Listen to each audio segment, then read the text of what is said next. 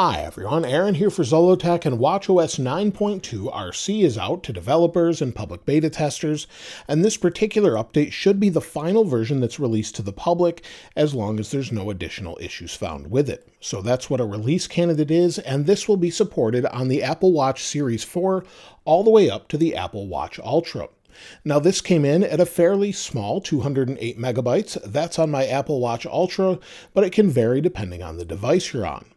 Along with this, Apple also released iOS 16.2 RC, iPadOS 16.2 RC, macOS 13.1 RC, tvOS 16.2 RC, HomePodOS 16.2 RC, and iOS 15.7.2 RC, as well as iPadOS 15.7.2 RC. Lots of different things, and those should all release at the same time to the public. We'll talk about that a little bit later. Now let's go ahead and take a look at the build number and talk about what's new. So we'll go into our settings here. You can see the build number is 20S361.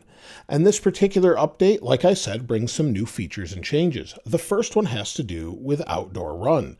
So if we go into our workouts, and I just have the action button set to open up workouts, so it goes in nice and quickly. And if we scroll down and we go to outdoor run, outdoor run now automatically detects when you arrive at a running track and then provides track specific metrics. So if it's a well-known running track, you select this as your workout, it should automatically detect that information and give you more information than you had already. Something else that's new is if you run regularly on the same route, or maybe you cycle or use outdoor wheelchair workouts around the same route over and over, you'll now be able to actually race against yourself. So you can compete against yourself with your previous performance if you're trying to train and maybe run a little bit faster. If we go down to the bottom here, they've updated the kickboxing algorithm. So if you're using kickboxing, it's now updated to be more accurate as far as its overall metrics according to Apple. If I bring in my AirPods Pro, these are the first generation, as well as the AirPods Max, they'll gain this as well, as long as you have active noise cancellation enabled, and if you're using the Noise app, it will actually take that into account now. So if we go into Noise here, and as long as these AirPods are connected, let me go ahead and connect them. I'll put them in my ear. You can see here on the watch in the Noise app, it says level reduced by AirPods. It's taking into account the overall AirPods noise reduction capability. If I take one out of my ear, you'll actually see that go away and the overall decibel level jumps up. If I put it back in my ear, it detects that, reconnects, and says level reduced by AirPods. So it's a new feature they've brought in noise just to give you an overall understanding of how much they're reducing the ambient sound based on the overall things in your ear or if you're using AirPods Max. Within the Apple Wallet app, there's something that is a little bit odd since they haven't enabled this yet on iPhone. So with this update, Apple says that Apple Card users with a savings account can now check their balances in Wallet. However, the savings account feature is not yet in iOS 16.2 RC. It was originally supposed to launch with iOS 16.1. They delayed it and maybe it will launch with 16.2, but at the time of the RC, it's not available. So maybe we'll see that in the future with the launch of Watch WatchOS 9.2, but they put it in the notes and it's something that should be new but it's a little bit odd that it's not there. Family setup users can now be invited to the Home app to control HomePod speakers and smart home accessories, and even unlock doors with home keys in Wallet. So if you use the Home app, you can see I have cameras and different scenes and things here. We can now invite someone directly from Family Setup instead of them having their own separate account for all of those things. So if you have a family within your home and you want to do that, you can now do that. Apple has updated accessibility so that now it supports visualization when the siren is active. So if I press and hold the action button, we can slide over the siren and you'll see the outside rings flash at the rate that you can hear the siren. So we'll go ahead and do that.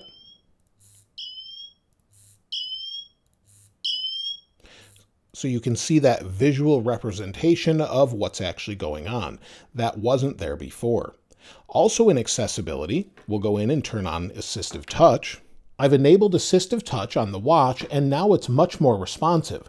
So the cursor is super responsive and then it understands gestures better. So if we dwell on something, it will select it and we can go down and dwell. It's much easier to select. It also understands gestures better. So I felt that vibrate and it wants me to go back. We'll double double clamp our fist again, you'll see it jumps back and forth. It understands those gestures a little bit better. So this is much easier to use, especially with the overall motion controls now. So I'm glad they've improved that. Now there's also bug fixes and improvements in this update, and the first one has to do with crash detection. They've optimized this on Apple Watch Ultra, Apple Watch Series 8, and Apple Watch SE. This could be due to having issues maybe when people were at a theme park on a roller coaster accidentally triggering crash detection, or it could be due to more recently skiers on ski slopes triggering this by accident. Either way, it's been optimized. We'll have to wait and see if that continues to happen though. They've fixed a bug that caused the display of incorrect watch times immediately after dismissing the alarm in sleep focus. So maybe you woke up, you had a sleep focus on, then disabled it. Sometimes time would be incorrect. They've also fixed a bug causing interruptions to mindfulness sessions. So if you were using mindfulness in the middle of meditation, you could have been interrupted before. So that has been resolved in this update. Additionally, there's security updates, but we won't know exactly what those are until this releases to the public. On the Apple security website, they don't update it until the day it's released to the public. So we still don't have details about the previous releases as well, with iOS 16.1.2 or tvOS 16.1.1. So hopefully they'll update this as well as watchOS 9.2 when it releases. And as far as when to expect the release, I would expect it as soon as Monday or Tuesday. That's typically what we see with releases. Last year, if we take a look at what we had with WatchOS 8 and also iOS 15.2, it was on a Monday. It could be on Monday or Tuesday. Based on what we've had recently, it could be either one of those days. But of course, as soon as I know about it, I'll be sure to let you know. As far as overall performance of the watch, well, I've been using the betas right along and really experienced no difference. And this processor in the Apple Watch Ultra is basically the same we've had for a couple years with a couple small updates.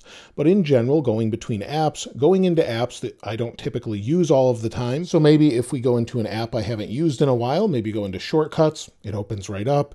Maybe we'll go down to well, let's go into Lumy. That's the app I have on the complication on the watch face. I'll show you that in a moment. Everything just seems responsive and fast. As far as battery life, I purposely left this off the charger most of the day, and it's doing well at 60%, despite even installing the update. So it's doing quite well as far as that goes. In general, I haven't really had poor battery life with the betas. Some people have, but later betas seem to be much better. So it's easily getting me a couple days. I typically do put it on a charger at night though, with well over 50%, usually 60% or more. So it could go a couple days or even further if maybe I put it in low power mode. As far as the watch face I'm using, well, many people have asked about this.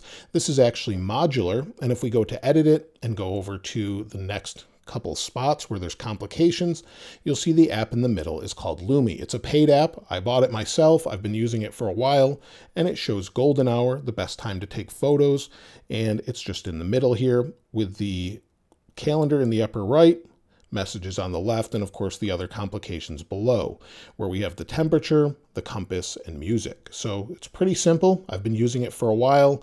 I do use it and like it a lot, and you'll see my sleep mode automatically turned on as it's getting ready to, well, it's getting late at night now, but you'll see it's on. I turned it off and the time is correct. So that's everything with WatchOS 9.2 RC. If you've found anything else, I'd love to hear from you in the comments below. And if you haven't subscribed already, please subscribe. And if you enjoyed the video, please give it a like. As always, thanks for watching. This is Aaron. I'll see you next time.